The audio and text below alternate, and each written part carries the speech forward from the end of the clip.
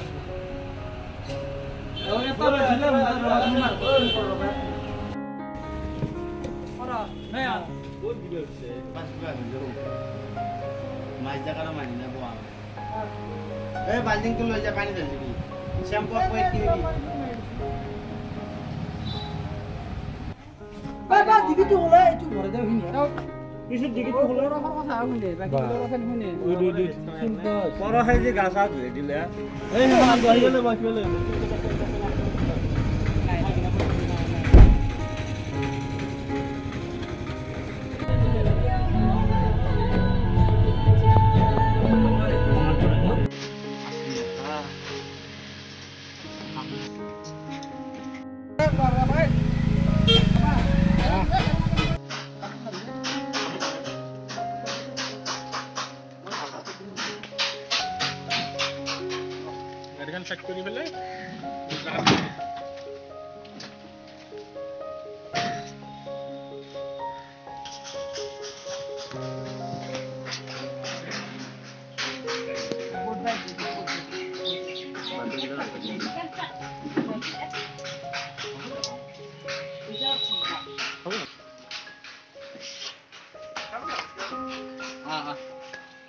বোৰখা মণিয়াৰী এই নদী পাৰ চকত আজি প্ৰায় দহ দিনমান আগৰ পৰা এগৰাকী মানসিকভাৱে ভাৰসাম্য হেৰুৱা এগৰাকী অচিনাক্ত মহিলাই এই চকত আশ্ৰয় লৈ আহিছিলে।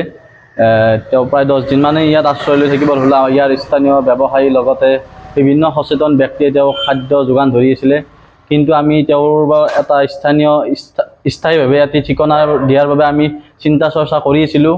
আৰু সেই চিন্তা চৰ্চা কৰি থকাৰ সময়তে যোৱাকালি নলবাৰী শান্তি নিবাস অনাথ আশ্ৰমৰ যি পৰিচালক মজিবুৰ ৰহমান দা তেখেতৰ লগত কথা পতাৰ পিছত তেখেতে তেওঁৰ শান্তি নিবাস অনাথ আশ্ৰমত ৰাখিব পাৰিম বুলি যেতিয়া ক'লে তাৰপিছতে আজি আমি ইয়াৰ স্থানীয় যুৱকসকল লগতে এই অঞ্চলৰ ৰাইজ লগতে এই চকৰ ব্যৱসায়ীখিনিৰ সহযোগত আমি আজি এই মহিলাগৰাকীক স্থায়ীভাৱে ঠিকনা শান্তি নিবাস অনাথ আশ্ৰমত স্থায়ীভাৱে তেওঁৰ ঠিকনাটো আমি কৰিবলৈ পাইছোঁ আজি।